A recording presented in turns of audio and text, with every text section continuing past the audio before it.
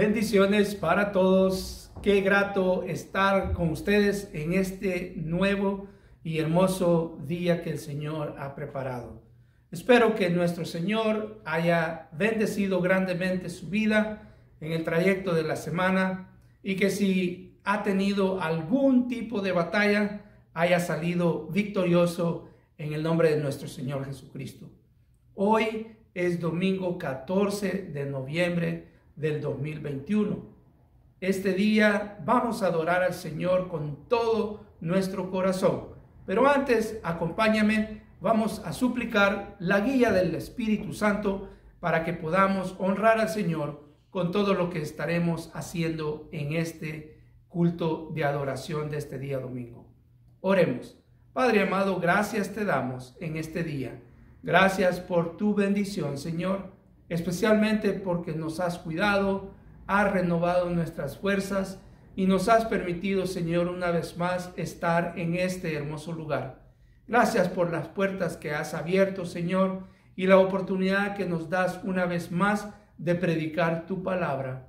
Rogamos, Señor, que en esta reunión podamos honrarte como tú te lo mereces, que todo nuestro ser esté conectado contigo que estemos atentos a lo que tú tienes que decir en esta ocasión, Señor. Y ayúdanos, Padre amado, a poder seguir dando esa eh, batalla que siempre se da, Señor, pero con tu victoria, Señor, porque sabemos que tú eres el que nos lleva vencedores a través de la vida. Perdónanos, Señor, por faltar en ciertas ocasiones Sabemos, Señor, que nuestra tendencia, nuestra naturaleza muchas veces no quiere hacer tu voluntad. Está siempre batallando con ese nuevo hombre, con la nueva naturaleza que tú has depositado en nuestro ser. Rogamos, Padre amado, que tu poder, que tu Espíritu Santo nos lleve a través de la vida ganando esas batallas, Padre Celestial. Y en esta ocasión suplicamos, Padre amado, que también tu Espíritu nos guíe, que nos dirija para que podamos llegar hasta el trono de tu gracia y de esta manera poder exaltarte y poder bendecir, honrar tu santo nombre como tú te lo mereces. Gracias por este privilegio y esta nueva oportunidad que nos das. Venimos a ti, Padre amado, en los méritos de nuestro Señor Jesucristo. Amén. Muy bien, Vamos entonces a dar inicio a la adoración en este domingo, en este hermoso día. Hoy comenzaremos cantando, siendo dirigidos por una familia muy hermosa que entona este hermoso himno. Hay una fuente sin igual. Gocémonos y si conoces el canto, sigue por favor la letra que está en la pantalla. Bendiciones.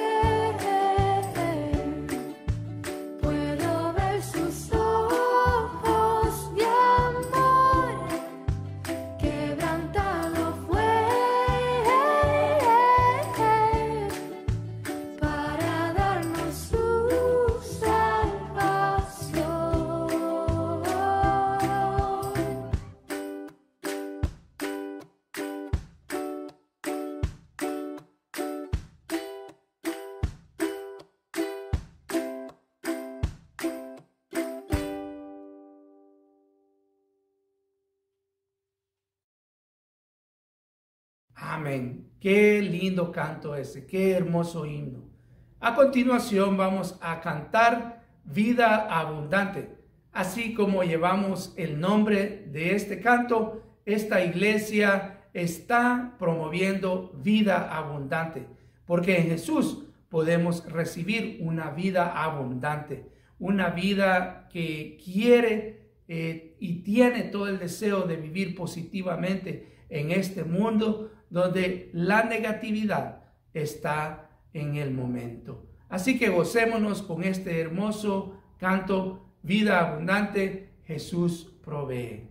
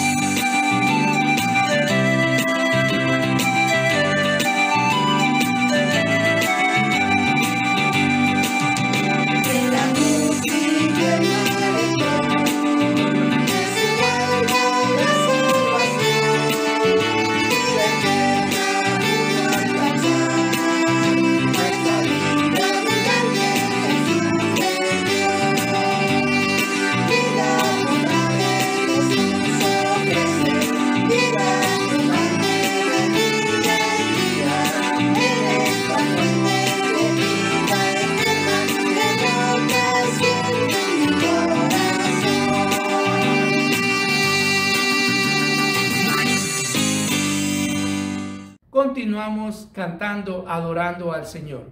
Este próximo canto que es dirigido por el hermano Marcos Witt se titula Ven y deleítate. Ven y deleítate en el Señor. Un deleite diario en el Señor nos lleva adelante. Así que gocémonos con este hermoso canto.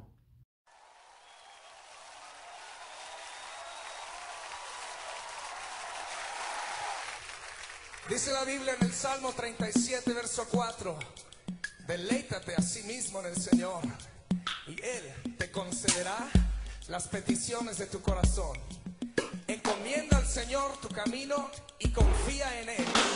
Y Él hará.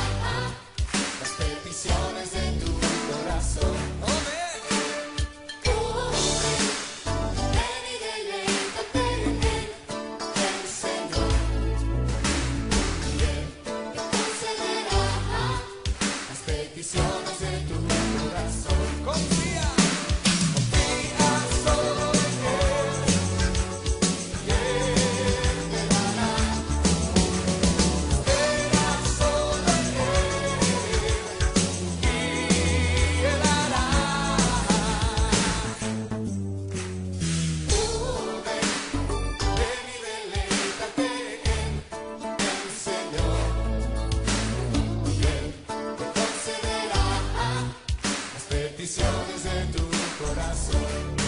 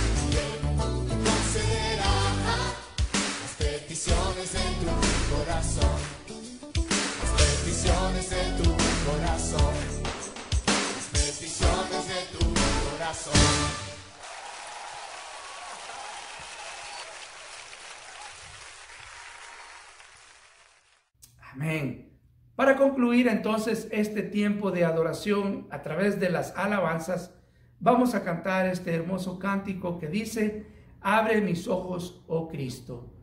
Nuestros ojos espirituales siempre necesitan estar alerta, atentos, fijos la mirada en el que, que es el consumador de nuestra fe. Después de este hermoso canto, mi esposa Sonia nos guiará en el tiempo de la oración. Gocémonos.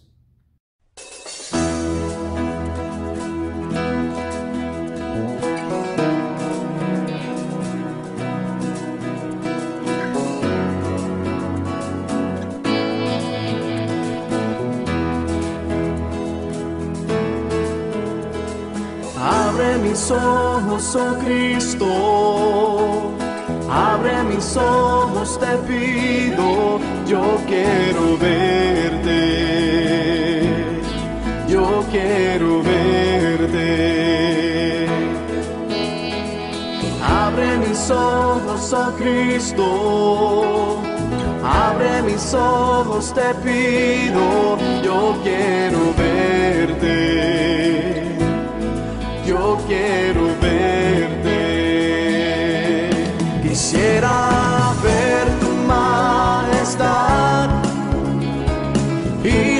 resplandor de tu gloria. Derrama tu amor y poder cuando cantamos Santo, Santo. Abre mis ojos, oh Cristo. Abre mis ojos, te pido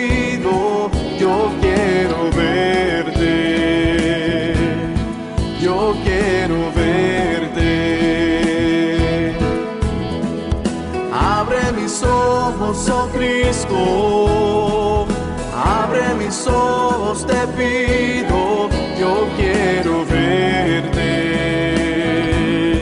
yo quiero verte. Quisiera ver tu majestad y el resplandor de tu gloria.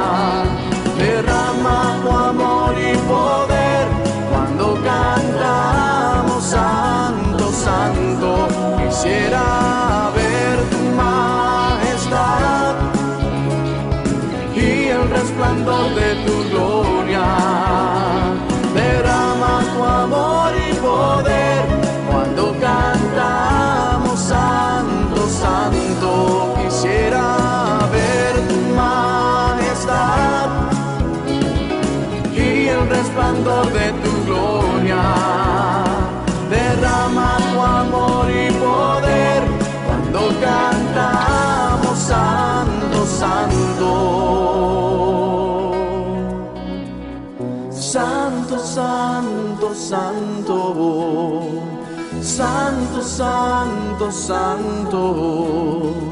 Santo, Santo, Santo. Yo quiero verte. Tú eres santo, santo, santo. Santo, santo, santo. Cantamos santo, santo, santo. Yo quiero verte.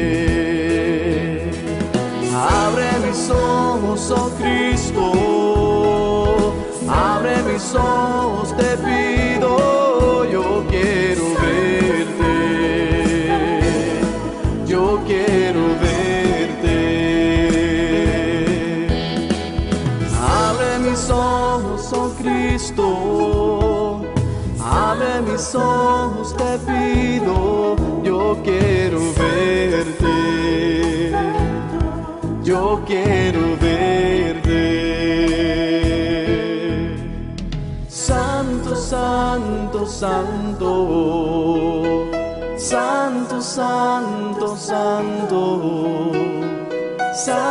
Santo, santo. Yo quiero verte. Tú eres santo, santo, santo. Santo, santo, santo, santo, santo, santo, yo quiero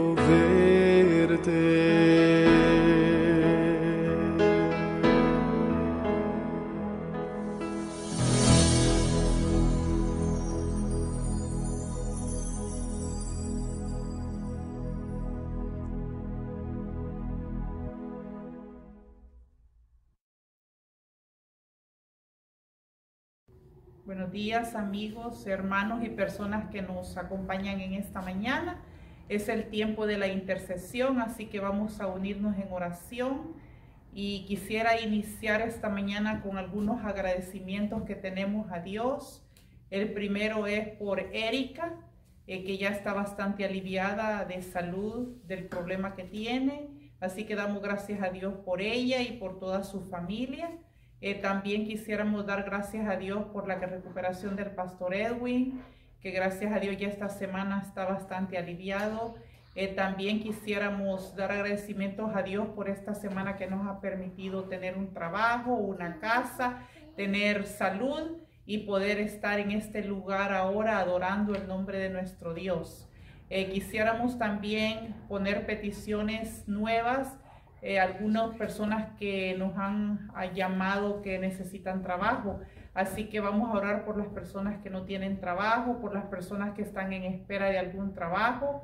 Y también quisiéramos pedir por las personas que están en alguna petición de procesos migratorios en esta mañana. Quisiéramos orar por esas personas que todavía no han arreglado su estatus migratorio aquí en este país. Así que vamos a poner esa petición muy especial para las personas que conocemos eh, que están en ese proceso.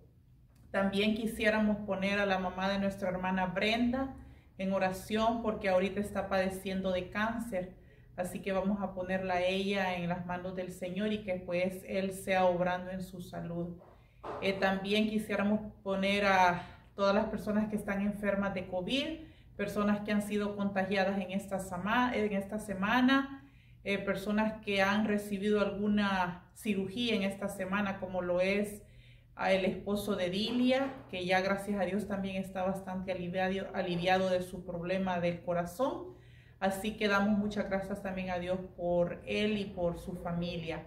También quisiéramos uh, unirnos en esta mañana. Si usted tiene alguna petición en su corazón, es el momento de ponérsela a Dios y sabemos que Él es el único que puede ayudarnos, que puede sanarnos y que puede proveernos todo lo que nosotros necesitamos. Así que acompáñame en una oración. Amantísimo Padre Celestial, a ti damos gloria y honra, Padre bendito, en esta mañana. Gracias por el privilegio de pues, poder estar aquí, Padre amado, en tu casa adorando tu santo nombre. Te queremos dar muchas gracias, Señor, por las peticiones que han sido contestadas. Gracias, Padre, por la vida de Erika, de su bebé, de su esposo y de su papá y de su mamá. Padre, te queremos dar muchas gracias porque sabemos que tú estás obrando en su vida, Padre Santo, que tú, Señor, has puesto tu mano poderosa sobre ella, Padre. Así que estamos muy agradecidos contigo, Padre, también por la vida de nuestro pastor que ya está bastante mejor de salud. Padre, gracias por todos los tratamientos que ha recibido esta semana. Gracias, Señor, porque sabemos que tú has estado con él y lo has aliviado, Padre Santo. También gracias por el, la cirugía que tuvo eh, Matt, Señor, el esposo de Dilia. Te queremos dar muchas gracias, Señor, por todo lo que hiciste en el hospital donde él estuvo, por esa cirugía de corazón abierto que recibió, Padre amado. Te queremos dar muchas gracias porque sabemos que tú estás en control de todas esas situaciones, Padre, y que tú, Señor, lo vas a, levantar de donde esté en este momento, Padre. También gracias por Edith, Padre bendito, que ella ya se está sintiendo mejor. Ella está muy agradecida contigo, Padre Santo, porque sabe que has estado con ella también en todos estos momentos que ella ha pasado, Señor, últimamente con su familia, Padre. Gracias, Señor, porque estás con nosotros te queremos suplicar en esta mañana, Padre amado, por esas personas que todavía están esperando, Padre bendito, una respuesta de migración, Padre Santo. Queremos poner, Señor, a esas personas que todavía no tienen papeles en este país, Padre, que no tienen un estatus migratorio adecuado, Padre, queremos ponerlas en tus manos y que tú, que tú seas sobrando en la vida de ellas, Padre. También te quiero suplicar por todas las personas que están enfermas de COVID en esta semana, Padre, que tú seas con ellas, que les des alivio, fortalecen sus cuerpos, Padre, a nosotros también, Padre bendito, que estamos uh, trabajando, Padre Santo, que salimos a la calle. También te queremos suplicar que nos cuides, que nos protejas en esta semana, que nos ayudes, Padre amado, a poder seguir adelante, Padre bendito. Gracias por tu amor, por tu, tu misericordia, por tu poder hacia nosotros, Padre amado. Así que ponemos todas estas peticiones en tus manos sabiendo, Señor, que tú eres el que va por tu santa voluntad, Señor, a dárnoslas y a contestar estas peticiones. Padre, eh, te honramos en esta mañana, te alabamos, alabamos tu santo nombre, Padre bendito, y que todo lo que hagamos sea para honra y gloria tuya. Pues te lo suplicamos, Señor, en el nombre de Jesús. Amén y amén. Que el Señor me lo bendiga. Amén. Gracias, Sonia, por habernos dirigido en este tiempo hermoso de la oración, peticiones, sabiendo que el Señor siempre está atento y pronto para contestar en su tiempo. Esperemos en Él lo que el Señor tiene para nosotros. Ahora tomemos nuestras Biblias. Vamos a tener una lectura bíblica en el Evangelio según Juan. Hoy vamos a ir al capítulo 4 y estaremos leyendo la historia el relato, el momento cuando Jesús conversa con esa mujer samaritana. Un pasaje conocido. Vamos a darle lectura. Entonces, tome sus Biblias, acompáñeme en esta hermosa lectura. Juan capítulo 4, versículos del 7 hasta el 15. La palabra de Dios dice así vino una mujer de Samaria a sacar agua y Jesús le dijo, dame de beber, pues sus discípulos habían ido a la ciudad a comprar de comer. La mujer samaritana le dijo, ¿cómo tú siendo judío me pides a mí de beber que soy mujer samaritana? Porque judíos y samaritanos no se tratan entre sí. Respondió Jesús y dijo, si conocieres el don de Dios y quién es el que te dice, dame de beber, tú le pedirías y él te daría agua viva. La mujer le dijo, Señor, no tienes con qué sacarla y el pozo es hondo. ¿De dónde pues tienes el agua viva? ¿Acaso eres tú mayor que nuestro padre Jacob, que nos dio este pozo, del cual bebieron él, sus hijos y sus ganados? Respondiendo Jesús, respondió Jesús y le dijo, cualquiera que bebiere de esta agua volverá a tener sed. Mas el que bebiere del agua que yo le daré, no tendrá sed jamás, sino que el agua que yo le daré será en él una fuente de agua que salte para vida eterna. La mujer le dijo, Señor, dame esa agua para que no tenga yo sed, ni venga aquí a sacarla. Que el Señor bendiga esta palabra leída. Hoy en día, la humanidad goza de agua fresca, agua potable, abundante. Así que no hay excusa ni razón justa por la cual alguien termine enfermándose por causa de deshidratación. Aunque la abundancia de bebidas contraproducentes para la salud causan que muchas personas no consuman suficiente agua y por ende terminan enfermándose.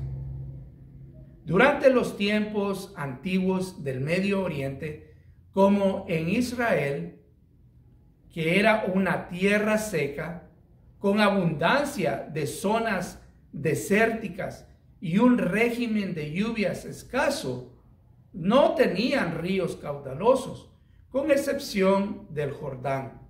Los arroyos generalmente permanecen secos la mayor parte del tiempo y cuando viene la temporada de lluvias, vierten su caudal con mucha rapidez. De allí que el agua durante estos tiempos era doblemente apreciada y buscada, por lo cual constituía muchas veces de cisternas y de pozos, como el que acabamos de leer en este pasaje bíblico. La mayoría de personas en los tiempos antiguos tenían que ir hasta estos pozos para acarrear agua. No sé si usted vivió en algún lugar allá en su país o si aún vive en un lugar donde usted tiene que estar acarreando el agua. Yo recuerdo bien que de niño vivimos en un ah, mesón, como se le llaman allá en mi país, en El Salvador. Y en este mesón no teníamos una llave de agua allí en el apartamento, en, las, en la pieza donde vivíamos con mi abuelita. Teníamos que ir hasta donde estaba una pila grande, como le llamamos, y allí acarrear agua para eh, la pieza donde vivíamos con mi abuelita. Oiga que si no era trabajo eso. Y en muchos lugares todavía se acostumbra a hacer eso. La gente tiene que caminar mucho. La gente tiene que recorrer muchas distancias para poder ir y agarrar agua potable, agua buena para poder beber y consumir durante el día. Esto lo menciono para que comprendamos cuán necesario es este líquido tan precioso. Así como en los tiempos del Señor, aún en nuestros tiempos, el agua es bastante necesaria. Tanto, que, tanto así que la única manera como nuestro cuerpo se puede mantener es consumiendo agua diariamente. Quisiera mencionar algunos datos importantes relacionados con la necesidad del agua en la vida. Dicen los estudiosos que el cuerpo humano consiste de 55 a 75% de agua y que está constantemente necesitando recuperar el líquido que pierde. Los pulmones consumen de 2 a 4 tazas de agua durante su trabajo diario, un trabajo normal, cuando respira y especialmente en los días más fríos. Si a usted, por ejemplo, le sudan los pies, usted está perdiendo un vaso de agua. Si va más de un par de veces al baño, ya perdió por lo menos seis vasos de agua. Y si usted es de las personas que sudan mucho, pierde otros dos vasos. Eso sin incluir algún ejercicio diario que llevamos a cabo. Así que una persona que pierde 10% de su peso en líquidos es considerada una persona deshidratada. Sin embargo, solo un 2% de pérdida de líquidos podría afectar un rendimiento normal. El cansancio y la falta de concentración son algunos de los efectos causados por no mantener un hábito, el buen hábito de tomar agua. Además de las famosas piedras en los riñones, esa calcificación que se crea dentro de los riñones es la mayoría de veces a causa de no tomar suficiente agua. Por eso es importante hidratarse, porque la falta de lubricación en las coyunturas y la falta de combatir catarros o inclusive el estreñimiento es a causa de ese poco consumo de líquido agua que necesita el cuerpo. Todo esto para decir que el agua es crucial para el mantenimiento de un cuerpo sano. Todos los sistemas del cuerpo dependen de este líquido tan precioso. Así que, ¿cuánta agua es necesaria o necesaria? Dicen que por lo menos el hombre necesita 13 vasos de agua al día y las mujeres 9 vasos de agua al día, por lo menos. Cristo utiliza esta analogía de la gran necesidad del el agua para ilustrar y enfatizar la necesidad imperativa que tiene en nuestras vidas Él, tanto individual como colectiva. Hoy entonces meditaremos en Cristo como ese líquido primario para sustituir y prevenir daños severos en nuestra vida y la vida de la iglesia. Por eso, el título que hemos dado a la meditación, siguiendo la trayectoria de lo que hemos estado meditando todos estos, estos domingos. ¿Quién es Jesús? Hoy Jesús dice, yo soy el agua de vida. Juan 14 y 4, 13 y 14 nos aclara que Jesús responde de esta manera, cualquiera que bebiere de esta agua volverá a tener sed. Mas el que, el que bebiere del agua que yo le daré, no tendrá sed jamás, sino que el agua que yo le daré será en él una fuente de agua salte para vida eterna. O sea, el agua física, el agua, el líquido es tan pero tan necesario, tan importante. Ya mencionamos todo lo que pudimos decir acerca de esta necesidad tan grande en el cuerpo humano.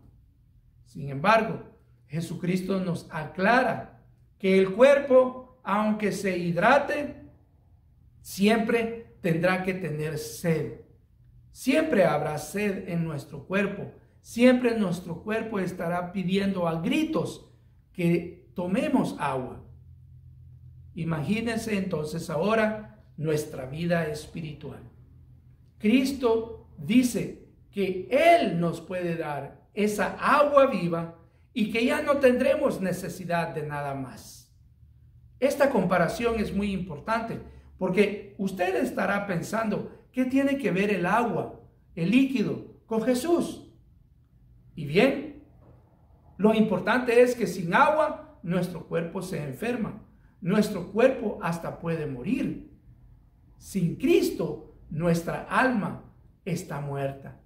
Y sin Cristo nuestra alma siempre estará pidiendo a gritos algo para ser satisfecha, para que pueda satisfacer esa necesidad tan grande que solamente puede ser Cristo quien la llene, quien pueda completar esa necesidad que tenemos como personas espirituales. Jesús dijo, yo soy el agua de vida. El agua de vida se caracteriza por hacer lo siguiente en el corazón de toda persona. El agua de vida da la bendición al justo, dice el Salmo 1.3. El agua de vida es la abundancia en el desierto del alma, Salmo 73.10. El agua de vida es la presencia de Dios en el sediento, Salmo 63.1. El agua de vida es la majestad y la soberanía de Dios que trae santidad. Salmo 93, 4 y 5. Y el agua de vida es la satisfacción del alma, aquella que desea tomarla. Isaías 32, 2. Por todas estas razones, Cristo verdaderamente es el agua de vida. Y no podemos saciar nuestra alma sino solamente con Cristo. La Biblia nos confirma que solo Cristo, según el Salmo 107, 9, solo Él apaga la sed del sediento y sacia con lo mejor al hambriento. Toda vida espiritual del creyente debe constituirse por anhelar y buscar el agua de vida. Como la samaritana, debemos desear saciar la sed. Yo creo que usted y yo en muchas ocasiones hemos querido saciar esa sed espiritual con aquello que aparentemente es bueno, aquello que es excelente. Y así muchas veces argumentamos como la samaritana argumentó con Cristo. Vivía en una religiosidad a pesar de la práctica que ella tenía. Pues si usted continúa leyendo el pasaje bíblico, se dará cuenta que Jesús le hace ver una realidad tan grande a la samaritana. La mujer samaritana había querido saciar esa necesidad emocional de muchas maneras, tanto así que había buscado en diferentes relaciones extramaritales. Y Jesús le confirma que ella va a continuar de la misma manera como, continúa, como continuaba yendo a ese pozo a tomar agua, a agarrar agua. Esa es una verdad muy grande. Nosotros podemos pasar nuestra vida tratando de saciar esos deseos, esas necesidades emocionales, esos sentimientos emocionales en personas, en cosas, en entretenimientos, en pasatiempos, en cosas materiales.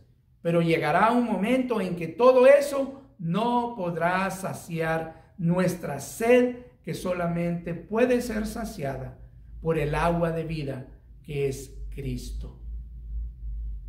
Cristo le hizo esa sugerencia a la samaritana. Él utilizó el agua física para demostrarle que él podía darle a ella algo más para poder saciar su necesidad física, su necesidad espiritual. Porque el agua viva hace una obra muy importante en el individuo. Mantiene la vida de la persona limpia y santa. Restaura la vida por medio de la confesión del pecado. Limpia del pecado espiritual a través de la obediencia a la palabra de Dios. Hidrata para evitar espejismos en el desierto de la vida y alienta y recobra la energía espiritual. Vea qué hermoso. Cristo puede hacer todo esto. Cristo nos puede mantener nuestra vida espiritual, emocional, física. Cristo puede restaurar nuestra vida. Cristo puede mantener nuestra vida limpia. Cristo puede hidratarnos para que evitemos enfocarnos en esos espejismos de la vida, buscando aquello que aparentemente nos dará una satisfacción, pero que no logrará hacerlo. Tengo una pregunta para ti en esta ocasión. ¿Cuántos años vivirás? ¿Has hecho tú algún cálculo?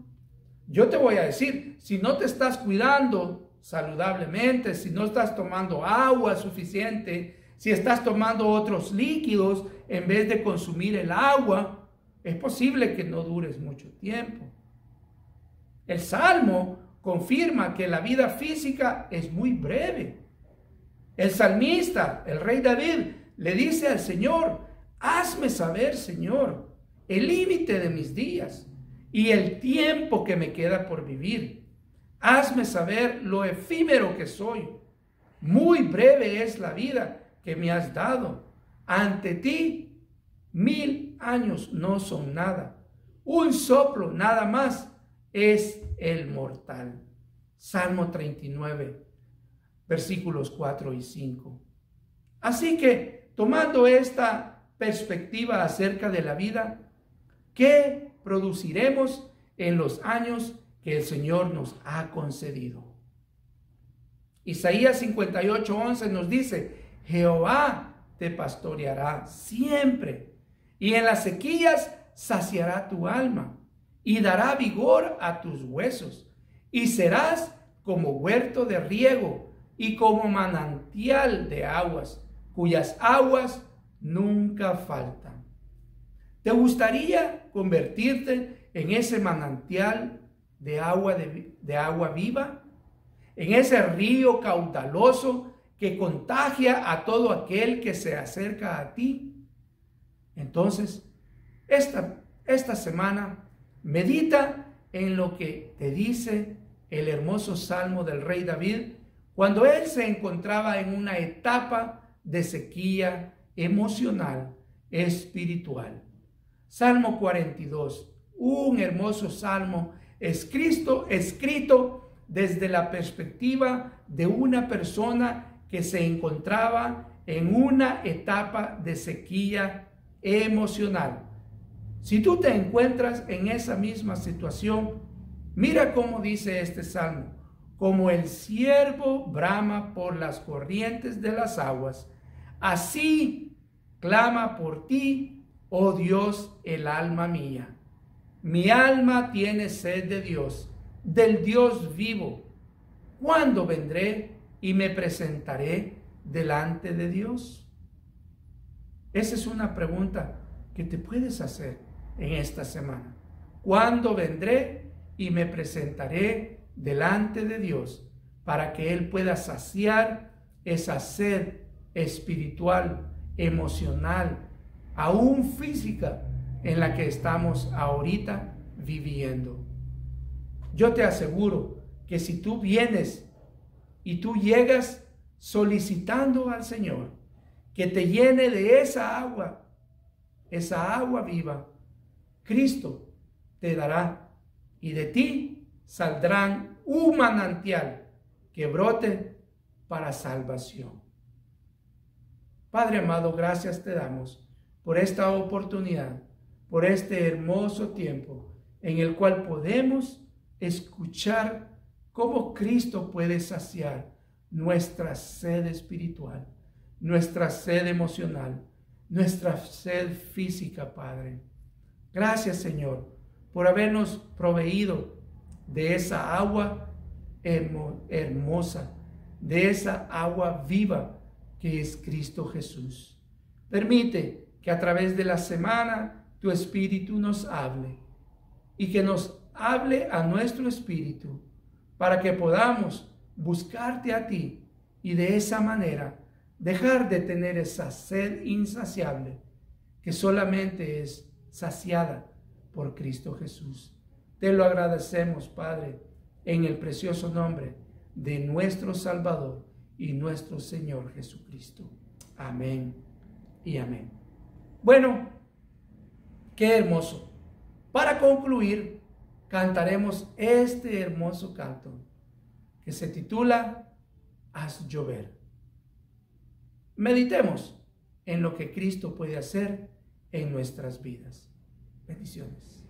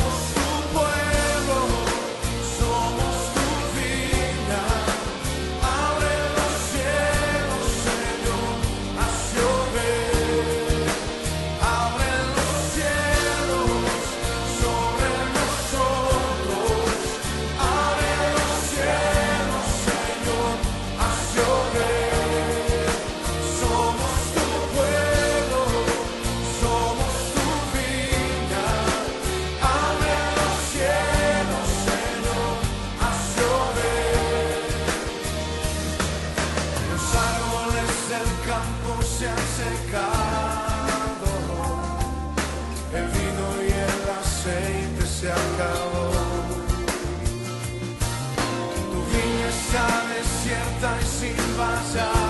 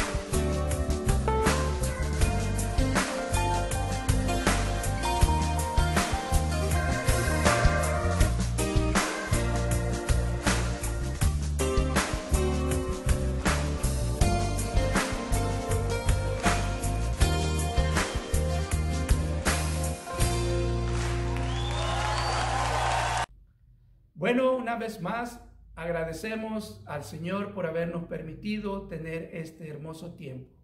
Gracias también a ti por haber tenido y hecho el tiempo para escuchar la palabra del Señor. Yo te aseguro que este tiempo ha sido el mejor tiempo que has invertido en tu vida.